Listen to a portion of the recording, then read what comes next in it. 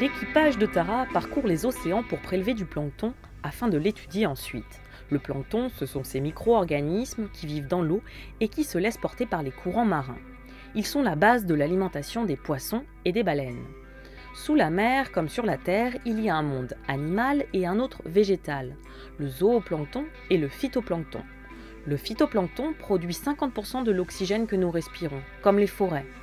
Si tu veux comprendre comment les scientifiques attrapent le plancton, suis notre ami Todd le copépode.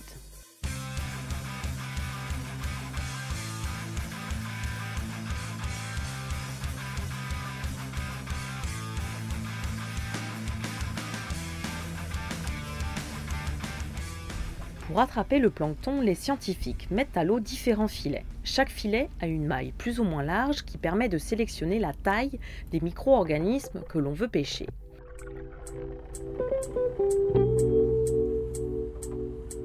Il y a aussi cet instrument, appelé la rosette, qui permet de prélever de l'eau à plus de 1000 mètres de profondeur.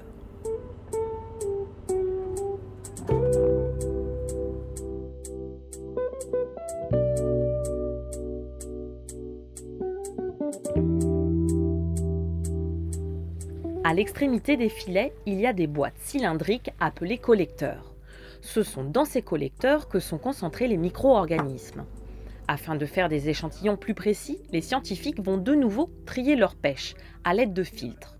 Certains filtres ressemblent à ton tamis pour le sable. Les plus petits micro-organismes passeront à travers le filtre. Les plus gros seront récupérés en surface. Ils seront mis dans des échantillons différents.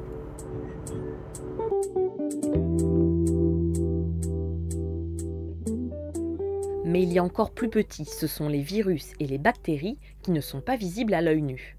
Pour récupérer les virus et les bactéries, les scientifiques utilisent cet autre filtre.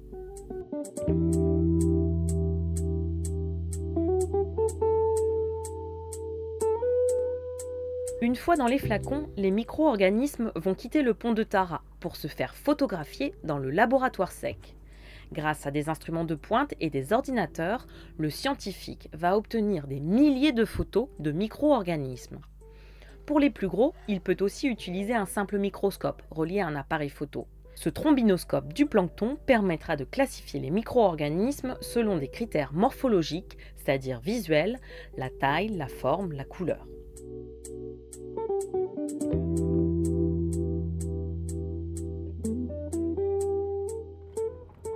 Pour que les échantillons de plancton se conservent, ils doivent être mis dans le froid, certains au réfrigérateur, d'autres au congélateur. Et voilà, la station scientifique est finie. Dans deux jours, les scientifiques recommenceront les mêmes manipulations pour pêcher d'autres micro-organismes.